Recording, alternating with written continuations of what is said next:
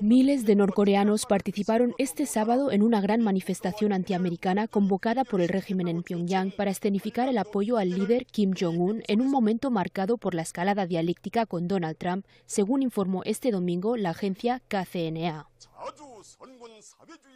Según el texto divulgado por la Agencia Estatal de Noticias de Corea del Norte, más de 100.000 personas participaron en la concentración en la céntrica plaza Kim Il-sung de Pyongyang.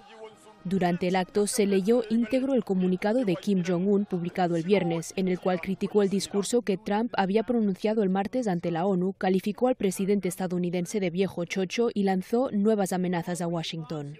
Representantes del ejército y del Partido de los Trabajadores también leyeron discursos durante el acto.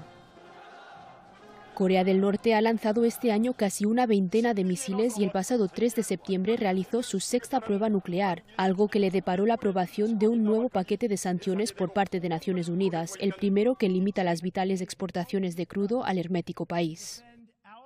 Los continuos ensayos armamentísticos de Corea del Norte y la dura retórica empleada por Washington tras la llegada en enero de Donald Trump a la Casa Blanca han disparado este año la tensión regional hasta niveles inéditos.